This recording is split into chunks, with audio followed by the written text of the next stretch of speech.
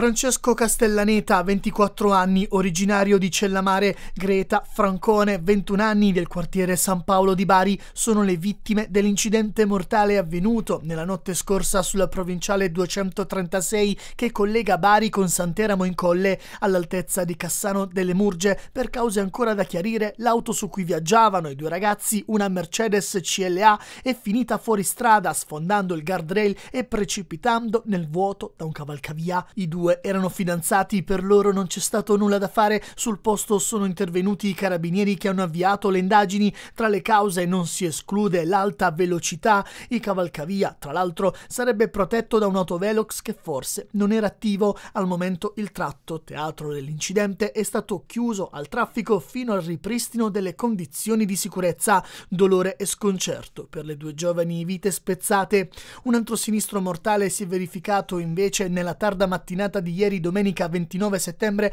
lungo la provinciale che collega Ostuni e Carovigno un 41enne, Giuseppe Salonna, ha perso la vita dopo che la sua auto, una BMW, si è ribaltata più volte a seguito dell'impatto contro un muretto a secco, inutili i tentativi di rianimare il 41enne da parte del personale sanitario, sul posto intervenuti anche i vigili del fuoco e la polizia locale di Ostuni. Incidente anche sulla strada statale 613 che collega Brindisi Brindisi e Lecce in mattinata, in questo caso fortunatamente senza vittime, un tir ribaltato all'altezza dello svincolo per Squinzano Trepuzzi. Il mezzo avrebbe impattato contro il guardrail per poi finire in un terreno che costeggia la statale. Il conducente è uscito illeso. Infine l'ennesimo sinistro sulla statale 100 non mortale tra San Michele e Casamassima, due le auto coinvolte e distrutte dalle fiamme. Domenica pomeriggio il bilancio è di tre feriti gravi.